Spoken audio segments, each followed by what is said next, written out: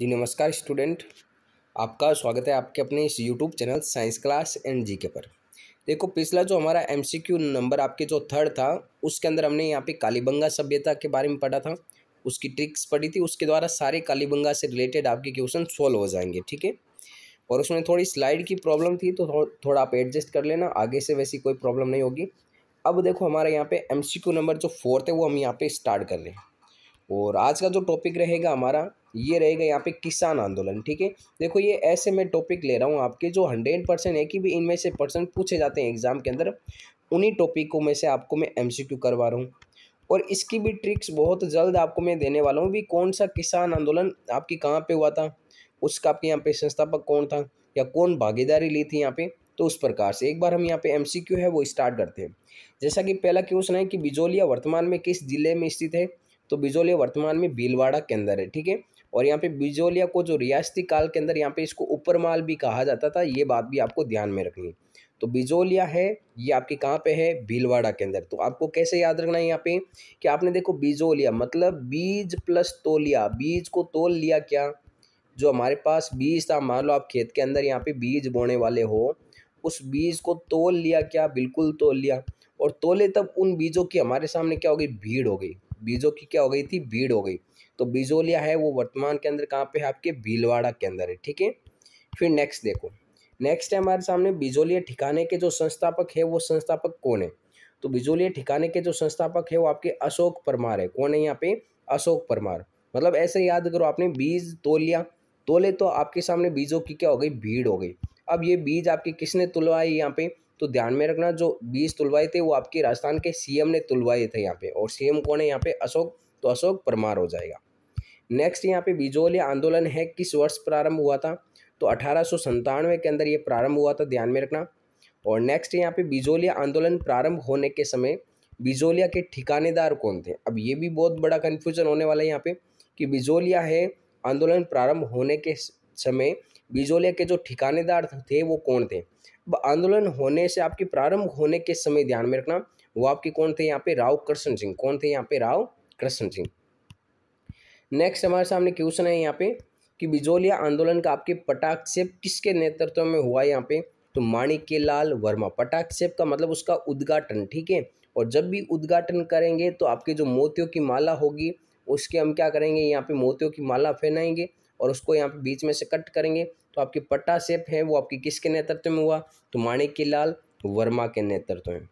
Next आपके नानजी और ठाकरे पटेल। इसको इम्पोर्टेंट करना। बहुत बार पूछा जाता है यहाँ पे कि नानजी और जो ठाकरे पटेल थे, ये किस आंदोलन से संबंधित थे यहाँ पे?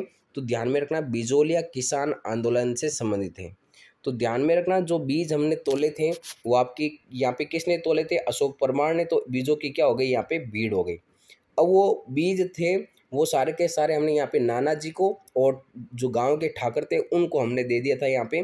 तो ध्यान में रखना, ये आपके किस आंदोलन से संबंधित हो जाएँगे यहाँ पे? बिजोलिया आंदोलन से संबंधित हो जाएँगे। नेक्स्ट है यहाँ पे विजय सिंह पथक जी ने जन जागरण हेतु हस्तलिखित मेवाड़ी भाषा के पत्र को गाँव गाँव पहुँचाने का प्रयास किया। वो आपके हस्तलिखित पत्र क्या था? तो वो आपके ऊपर माल का डंका नाम से आपके एक पत्र था, जिसको गाँव गाँव पहुँचाया गया था लोगों के अंदर जागृति फैलाने के लिए। नेक्स्ट है हमारे सामने यहाँ पे क्वेश्चन कि ऊपरमाल पंच बोर्ड की जो स्थापना है, ये किसके द्वारा की गई यहाँ पे? तो देखो यहाँ पे ऊपरमाल पंच बोर्ड की स्थापना है वो विजय सिंह पति। जो विजय होगा, वो ऊपर रहेगा। जो विजय होगा, वो ऊपर रहेगा। तो ऊपरमाल पंच बोर्ड की स्थापना किसने की यहाँ पे? विजय पथिक ने की। तो विशेष तौर से यहाँ पे आपको ध्यान में रखना है इसके बारे में, ठीक है? नेक्स्ट है ना, आपके सामने क्वेश्चन कि बिजोलिया आंदोलन की प्रमुख विशेषता क्या थी? तो ये सारी विशेषता आपके यहाँ पे बिजोलिया आंदोलन की थी। आप इन विशेषताओं को यहाँ पे पढ़ सकते हो आसानी से। नेक्स्ट है हमारे सामने प्रश्न कि बिजोलिया ठिकाने के किसानों में, बिजोलिया ठिकाने के किसानों में ठिकानों के विरुद्ध आंदोलन करने का प्रमुख कारण क्या था यहाँ पे? तो देखो यहाँ पे एल एल बी आपकी लगान, लाटा, कुंटा और आपकी बेगारी ध्यान में रखें बेगारी का मतलब यहाँ पे, एक तो एल का मतलब लगान और लगान का मतलब यहाँ पे लाटा। लाटा का मतलब जो भी आप धान वगैरह काटते हो तो वो किसान, आपके अंग्रेज़ों को देना पड़ता था। और बी का मतलब बेगारी। बेगारी का मतलब बिना रुपए पैसों के काम करना। इसमें आपका ये जो पहला और दूसरा ऑप्शन ये तीनों करेक्ट हो जाएँगे यहाँ पे। तो ये आपका यहाँ पे थर्ड नंबर ऑप्शन है, ये बिल्कुल करेक्ट है। नेक्स्ट है यहाँ पे विजय सिंह जो प्रतीक है, ये आपके बिजोलिया आंदोलन से कब जुड़े थे? तो सिंह जो पथिक थे, ये बिजोलिया आंदोलन में ध्यान में रखना 1916 के अंदर जुड़े थे। कब जुड़े थे यहाँ पे 1916 नेक्स्ट है यहाँ पे ऊपरमाल पंच बोर्ड का जो गठन है, वो गठन कब हुआ था, ये इम्पोर्टेंट कर लेना यहाँ पे क्वेश्चन तो ऊपरमाल पंच बोर्ड का गठन हरियाली अमावस्या है 1917 को हुआ था यहाँ पे।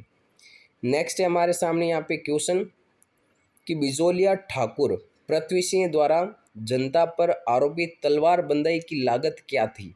तो ठिकाने के उत्तराधिकारी, आपके उत्तराधिकारी की ताज पोस्ट पर जनता से वसूला जाने वाला जो कर था, वो आपके यहाँ पे तलवार बंदाई कर होता था। नेक्स्ट हमारे सामने क्वेश्चन है कि जो आपकी बिजोलिया है, ये आपके बिजोलिया किसानों की जो मांगों के औचित्य की जाँच हेतु न्यायमूर्ति बिंदुलाल भट्टाचार्य आयोग कब गठित किया गया तो ये अप्रैल उन्नीस उन्नीस। अब देखो, बहुत सारे डेट से रिलेटेड क्वेश्चन एग्ज़ाम के अंदर आपके मतलब गलत गलत होने के चांस बनते हैं।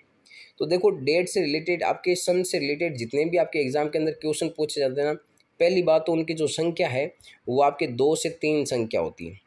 अब आप सन को याद करो, चाहे मत करो, वो आपके ऊपर है। अगर याद करना चाहते हो तो याद कर सकते हो, और याद नहीं करो तो भी कोई बात नहीं, क्योंकि डेट से रिलेटेड जो क्वेश्चन आते हैं ना एग्ज़ाम के अंदर, कोई भी एग्ज़ाम के अंदर देख लेना, दो या तीन क्वेश्चन उसकी तारीख से रिलेटेड पूछे जाते हैं, ज़्यादा क्वेश्चन भी नहीं आते हैं। तो मैं आपके बाकी वाले जो आपके ये जो डेट से रिलेटेड क्वेश्चन है, उनको मैं यहाँ पर स्किप कर रहा हूँ, ठीक है? नेक्स्ट है यहाँ पे राजस्थान में जो किसान आंदोलन है, वो किसान आंदोलन का जनक कौन है? अब देखो, जो आपके यहाँ पे विजय होगा, उसको हम यहाँ पे ऊपर उठाया जाता है, वही तो ऊपर होता है यहाँ पे। और विजय हमेशा किसकी होती है? यहाँ पे किसान आंदोलन में हमेशा विजय होती है सबकी। तो विजय सिंह प्रतीक है, ये आपके राजस्थान में ध्यान में रखना, किसान आंदोलन का क्या हो जाएगा? जनक हो जाएगा।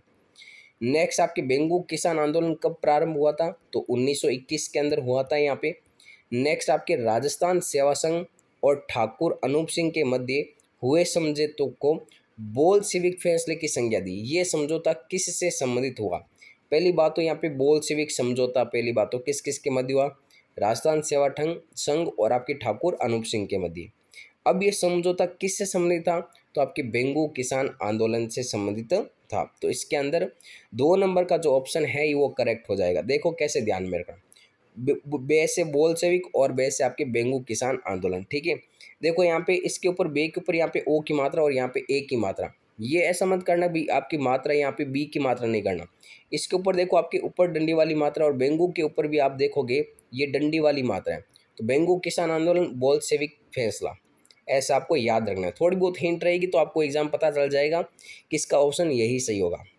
बेंगू के किसानों ने उन्नीस इक्कीस में किस स्थान पर एकत्रित होकर, ठिकाने के विरुद्ध संगठित होकर आंदोलन करने का निश्चय किया तो जो मेनाल है, उस मेनाल के ऊपर यहाँ पे सेकंड नंबर ऑप्शन करेक्ट हो जाएगा।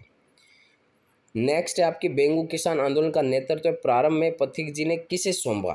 देखो, पहले आपके पथिक ने और उसके बाद में पथिक जी ने किसको सौंपा यहाँ पे? तो ध्यान में रखना है यहाँ पे पथिक जी ने किसे सौंपा था? तो ये ध्यान में रखना है यहाँ पे राम नारायण चौधरी ने।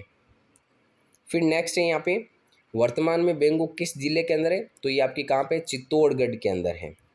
बूंदी के बरड क्षेत्र है। तो बूंदी का जो बरड क्षेत्र है, वो बूंदी के दक्षिण पश्चिम भाग के अंदर है।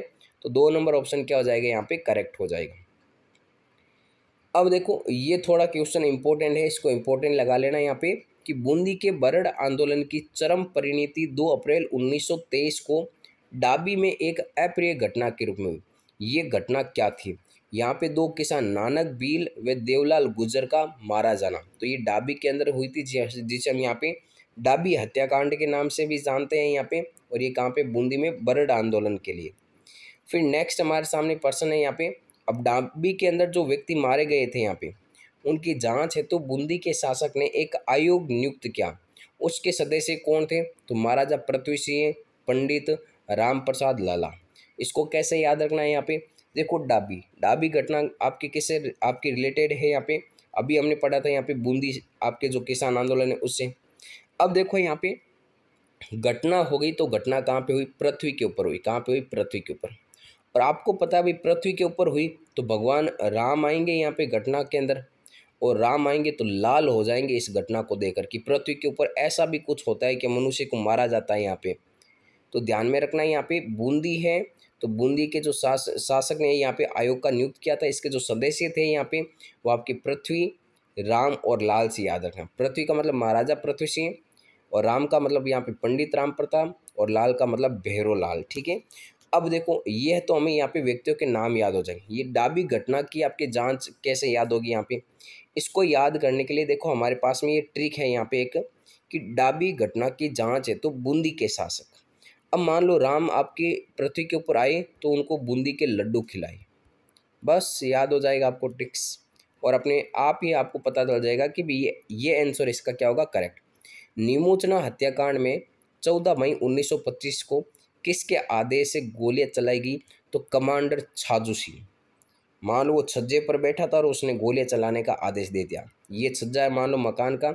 इस छज्जे के ऊपर बैठा था और उसने क्या किया? यहाँ पे गोलियाँ चलाने का आदेश दे दिया था। और उसके हाथ में क्या था? यहाँ पे नींबू और चीना था। उसके हाथ में क्या था? यहाँ पे नींबू और चीना। ठीक है, नींबू और चीना था मतलब नींबू चना। और आपकी किसने गोली चलाने का आदेश दिया? कमांडर छाजू सिंह कहाँ पर बैठा था? छाजू मतलब छज्जे के ऊपर बैठा था, बस। हो जाएगा याद। मेव किसान आंदोलन किसके नेतृत्व में हुआ था यहाँ पे? तो मेव है ये आपके मोहम्मद अली के नेतृत्व में हुआ। किसके नेतृत्व में हुआ यहाँ पे?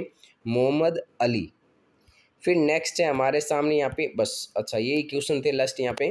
तो ये मैंने कंप्लीट क्वेश्चन करवा दिए यहाँ पे। वीडियो कैसा लगा वो कमेंट्स करना।